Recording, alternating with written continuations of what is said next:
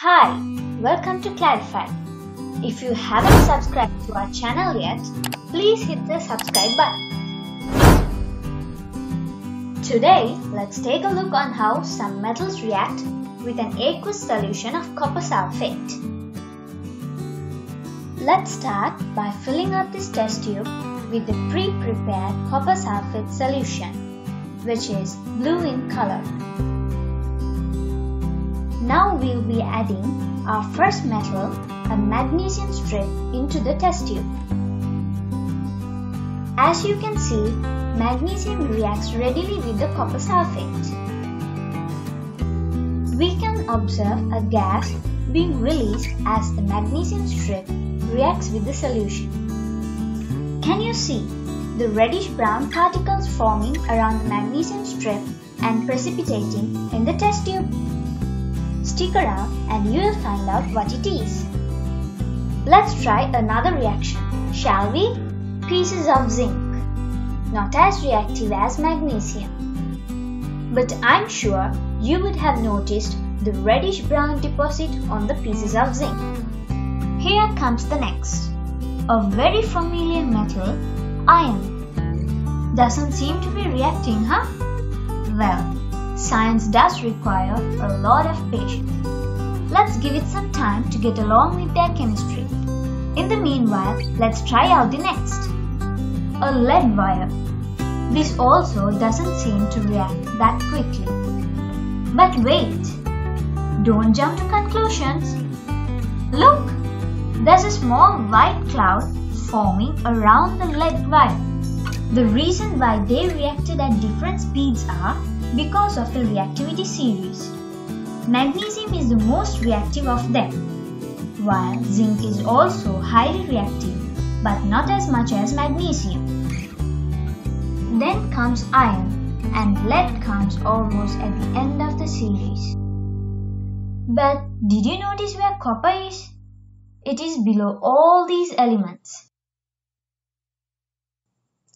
Have a look at this now. These types of reactions are called displacement reactions. Since all these metals are higher above copper in the reactivity series, they have displaced the copper ion in the solution and have taken its place.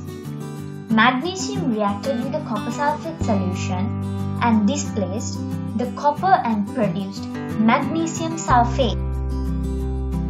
You can see that the blue color in the solution has reduced and the brown precipitate deposited at the bottom has increased. Zinc has reacted with the copper sulfate solution and has become colorless. Zinc and the copper sulfate has reacted to produce copper and zinc sulfate. Look at the iron nail.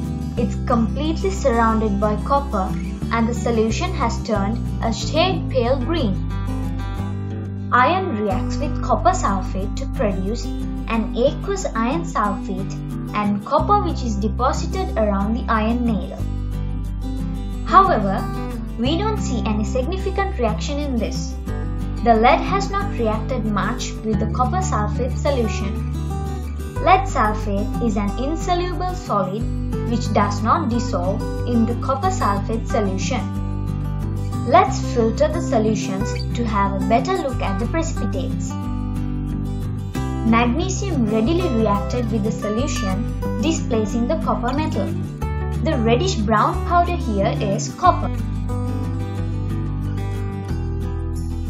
Zinc reacted with copper and this is the precipitate we are left with the copper has deposited around the zinc granules.